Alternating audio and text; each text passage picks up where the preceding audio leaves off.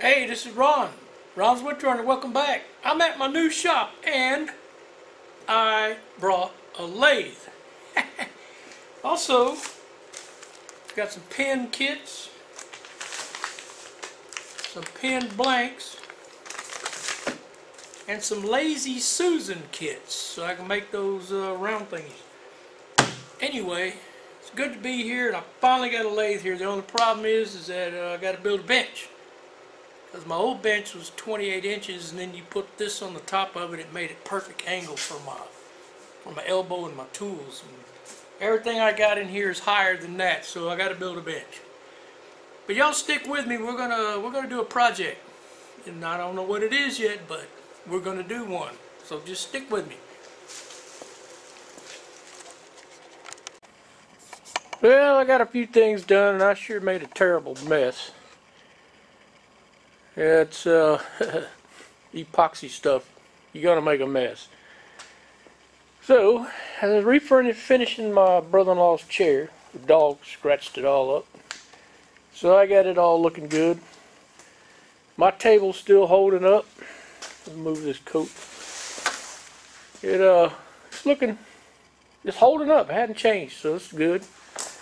And then I started a river project. I put the first layer down. Had some leaks right here in this corner. So I had to patch that. So I wasted a little bit of epoxy, not a lot. But now it's all sealed up, so today I'm going to finish pouring the river. And I got to go home tomorrow, so when I come back in a month, it ought to be nice and cured. But, got my small lathe. Today I'm going to build a bench for it. It's got, a, I like it 28 inches high and then set it on top of the bench. And then that way it fits me perfect. Everything else in here in the shop is too tall. So I'm going to go get some wood from the neighbor. Put together a little bench for it and do some turning. And uh, the bar is still looking good. Uh, cut that part out. yeah, might be a little pig action today. We'll see. So, it's nice and dark outside still. I don't know how well the camera will work. But I rigged me up a temporary porch light. And it's just getting daylight here at the ranch. Uh, you ain't gonna be able to see it. I'll shoot it later in the day. Man, you talk about warm up a shop fast. Five minutes, it's 70 in here. These uh, cost less. My mini split, I got it set on 65. And it's supposed to be sunny today, so if I warm the shop up before daylight, uh, that mini split won't even kick on hardly and I can turn the propane off. So I'm learning my shop. Uh, it's going to be a great day. We'll get busy later. Alright, so I got my epoxy heated up and I haven't mixed it yet, but I got some 220 and I'm roughing up the surface on the wood part. I'm not going to mess with the lake part. And uh, we'll pour it.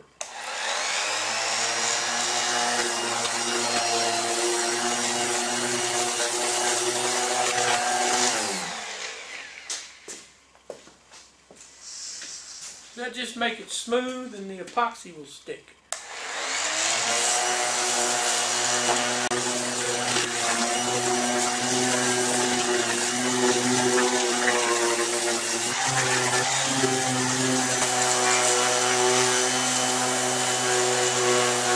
And I'm just going to blow it off.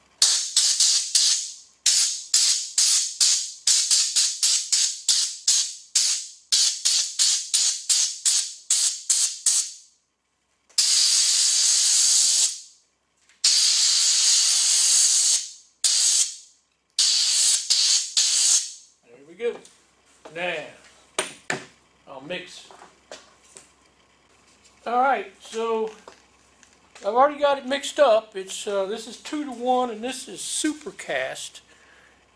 So you can pour this stuff 2 inches thick. and it'll cure up. But I'm gonna pour about a quarter inch at a time, pop the bubbles, and then keep going till I get it full. So that's all mixed up, part A and part B.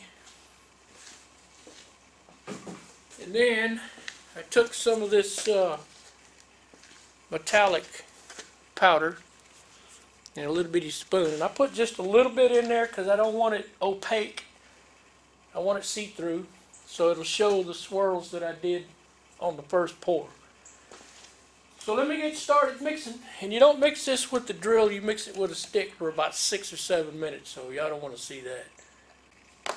Alright, it's seven minutes mixed up and uh, it's not completely opaque. You can see it's still a little see-through on the stick, but it's got little blue speckles in it.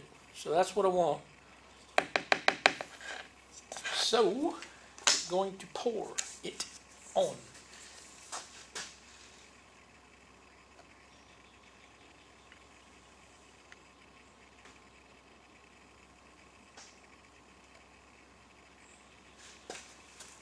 Nice and easy. And if I didn't make enough, I'll make another batch.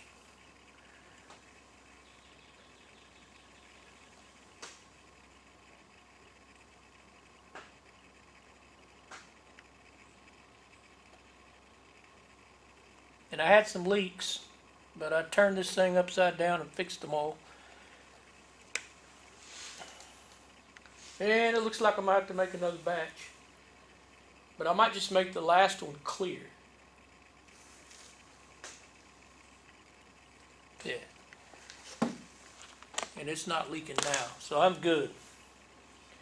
So I'll mix up one more batch and get my torch.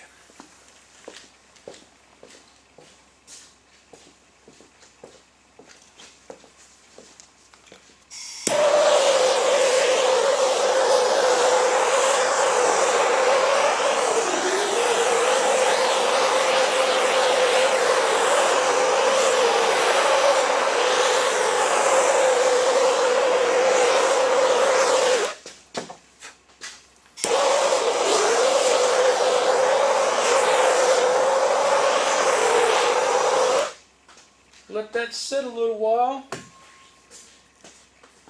And while I'm making up another batch, go ahead and fill the bad boy up. Cool. Alright, got another batch mixed up. This ought to fill it up.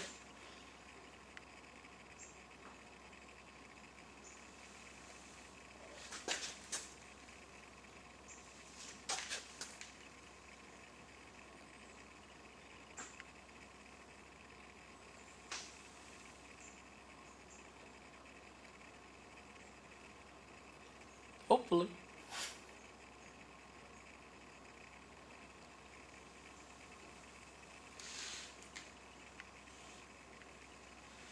Looks like it's full. Yes, it does. And that's all I can do to it because this stuff, I might have to leave tomorrow and I'll check it in the morning, but it's going to take a full 24 hours for this to dry. So I just got to make sure the bugs don't get on it. I'll come in here every now and then and look at it. But it's perfect. It's up to the edge. Because the top coat I'm going to put on there is good for a one eighth of an inch. And that'll fill all the voids and I'll put just perfectly clear on the top. So let me hit it with a torch.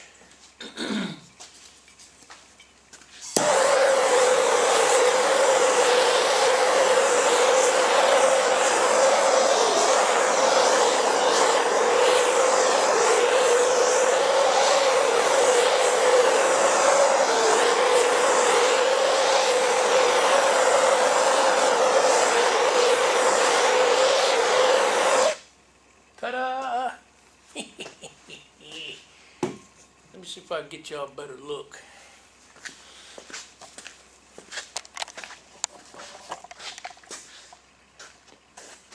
There we go. Alright, it's just gotta dry. And I got some wood sticking up over here because apparently that board is kind of warped, so I'll have to plane that down. And it's a high spot. No problem. I can handle it. We just got to plane it after it's dry, probably next month. We'll check it out. First lathe in the shop. Be a while before I bring the other one though. I gotta have something to do when I'm at my house. So, more projects to come.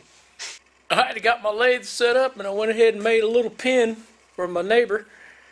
And uh, it is nothing fancy because I left all my mandrels at the other shop, but I improvised and I made a, my own mandrel out of wood. So quick and easy little slimline pen kit and project still coming. All right, this is the, the last pour. This has been sitting here about 12 hours. It's tacky, so it's perfect. And I'm gonna, this is just clear. And there's nothing in this but clear, so I'm gonna cover the whole thing and then let it dry for a month. Because I ain't taking it home with me. When I come back, I'll demold it and fix it. Sand it all down, polish it up, and it'll be just right. It's good when you're not in a hurry. And you can't really get in a hurry with this stuff anyway. So, let me finish mixing. Alright, let's fill it up. We'll start on this end.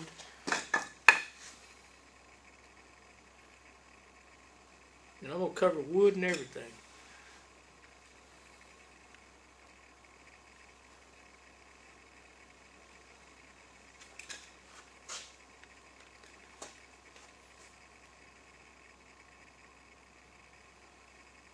Well, I'm going to have to spread this out. Not a problem. Get my trowel.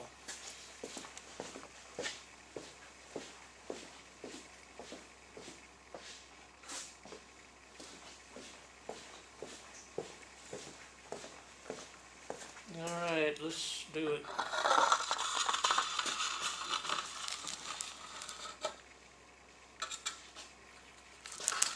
Beautiful.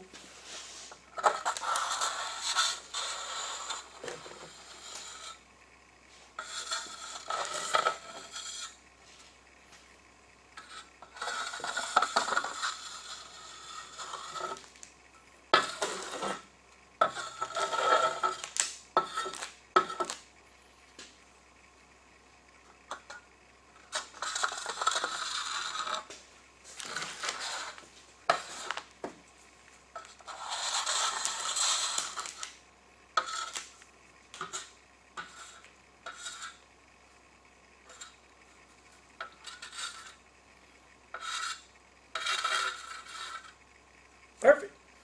Just enough.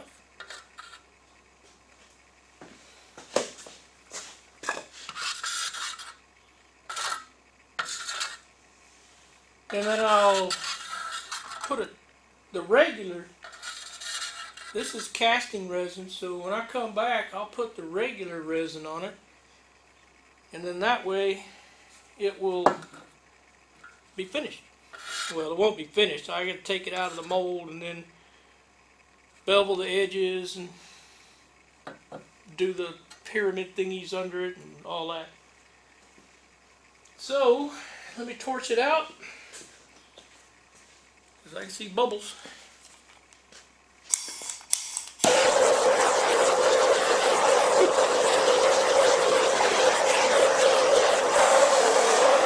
Nice!